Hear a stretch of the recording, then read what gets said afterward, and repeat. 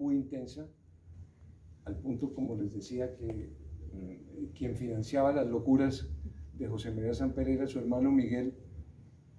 Ellos eran ocho hermanos, pero los más cercanos eran Miguel y José María, por una sencilla razón, porque los dos eran figuras públicas. Los demás hermanos siempre estuvieron al margen de la actividad pública, estuvieron dedicados sobre todo a los negocios, a la actividad comercial, a la actividad bancaria, a la actividad agropecuaria, eh, y, solo estos dos hermanos, digamos, eh, saltaron a la, a la, escena pública y eso les permitió tener una solidaridad entre ellos, ¿no? una empatía, una complicidad muy importante y como yo había escrito la biografía, tenía muy caliente el tema de su hermano Miguel, eh, porque lo había trabajado casi de forma paralela, porque aparecía a lo largo de su vida constantemente. Entonces no fue muy complicado, ya no fueron siete años como con la biografía de, José María Samper, sino fueron dos años trabajando la biografía de Miguel Samper Agudelo, porque tenía la documentación a la mano, tenía la correspondencia de él a la mano, tenía yo muy claro lo que había sido el siglo XIX en la historia de Colombia, estaba todo muy fresco, con lo cual me animé a escribir, a escribir eh, la biografía de, de, Miguel Samper Agudelo. Son dos figuras, estos dos hermanos, yo identificaría desde el punto, los dos con una con, una, con un compromiso político muy serio, digamos. Eh, José María Samper, yo lo defino siempre, lo he definido como un liberal conservador y a Miguel Samper como un conservador liberal. Eh, de alguna manera los dos hermanos se complementan en ese sentido. Ahora bien, eh, pero me pasó una cosa peor, que no sé si tuvo que ver en el inconsciente o en el subconsciente con la escritura de estos dos libros. Mi esposa es Samper y desciende directamente de Miguel Samper Agudelo. Entonces, eh,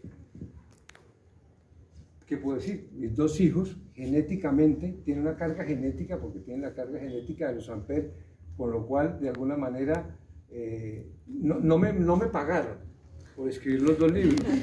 Los Samper son tacañísimos. No me pagaron nada, absolutamente nada.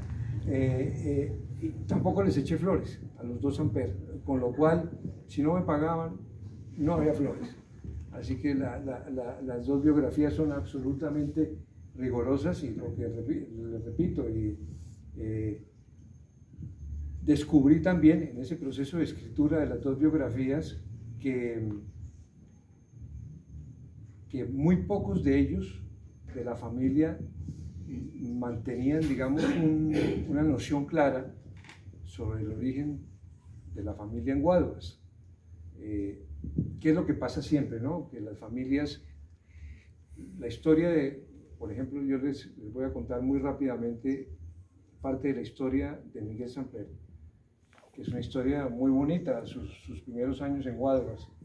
Eh, y qué fue lo que pasó después, qué es lo que sigue pasando todavía en Colombia y sigue pasando en la humanidad, que son las migraciones que se producen del pueblo a la ciudad, de la ciudad a la capital, de la capital a, a otro continente, de otro continente a un imperio. Constantemente el ser humano ¿no? es trashumante y va, va, va, va cambiando de residencia con mucha facilidad. Eh, José María eh, y Blanco era el papá de Miguel Samper y fueron ocho hijos, como les contaba. Eh, los tres primeros nacieron aquí en Guadas, los cuatro primeros nacieron aquí en Guadas, los, los, otros hermanos nacieron en Honda. Eh, José María Samper Blanco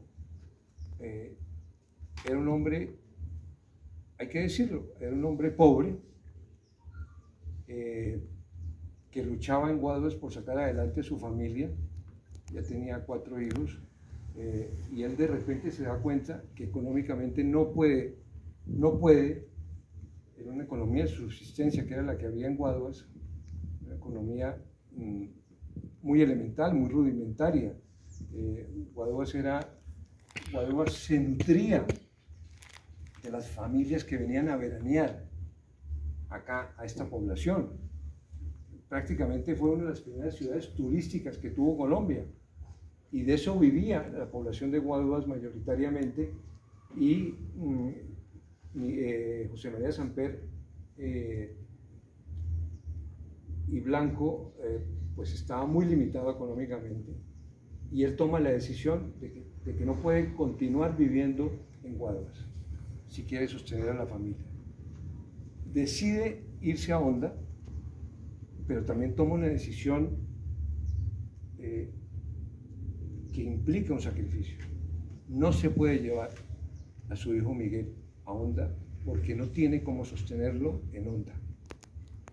Entonces había un primo hermano, un, perdón, un hermano medio de él, Samper también, y Mudarra, hijo de un primer matrimonio de, su papá, que vivía aquí, una figura muy prestante en Guaduas, eh, conservador, este Samper, y José María Samper Blanco le pide a su hermano medio que por favor se encargue de su hijo pequeño, Miguel Samper, porque no tiene cómo sostenerlo.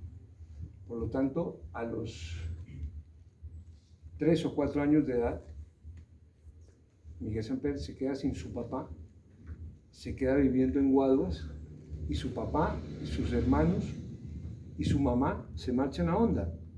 De tal manera que todos los primeros años de vida de Miguel Samper en Guaduas transcurren bajo el amparo de su, de su tío, ¿no? Que es el que se encarga de cuidarlo, de formarlo, eh, de educarlo.